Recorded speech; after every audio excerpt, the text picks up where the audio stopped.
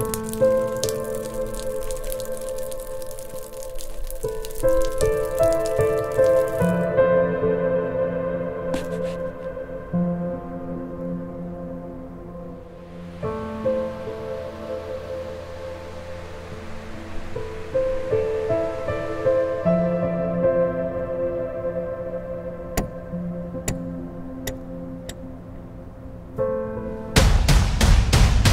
Zum Glück gibt's bald wieder Eishockey.